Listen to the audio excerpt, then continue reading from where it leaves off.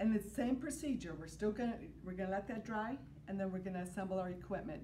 Now, when I do this, I also kind of separate my gauze, and this is just, you know, from doing this as much as I have been doing it, I kind of learned different um, tricks to help myself. What's the, what do we do with the first drop of blood? Wipe Wipe it. off. Right. So again, I'm gonna, I have this ready to wipe it off. That's gonna be if I need to wipe it, if it gets a little bit too messy, okay? So again, this is just my technique of it. You're gonna find different ways to do it. So again, you don't wanna do it right on the knuckle because that'll hurt the patient and that blood won't come forward. And again, you wanna make sure this is flush to the surface. Uh, you don't wanna have it off because then that's not gonna give a good stick. You wanna do it right on the surface. So, and then all you have to do, so it's on there right now, it's actually on the skin, it's flush.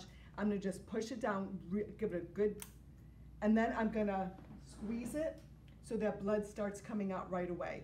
I'm gonna turn her over, it's a quick movement, turn her over. We wanna make sure the, the finger is down, we don't want it up, cause that's where the blood's gonna go. So we're gonna do it down, and all you do, you let that blood form really good, and then all you're gonna do is take, get it right into that tube. Again, we're going to, and you always wanna make sure that patient is nice and, um, not tense. Again, right in the tube, tap it if you have to, okay? See, it's forming really good, get it right in there. What's the action that? the- Capillary. Capillary action, there's no vacuum in that tube.